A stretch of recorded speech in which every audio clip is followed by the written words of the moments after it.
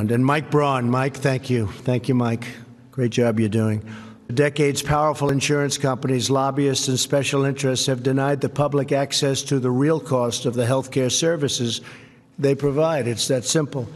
This lack of price transparency has enriched industry giants greatly, costing Americans hundreds of billions of dollars a year.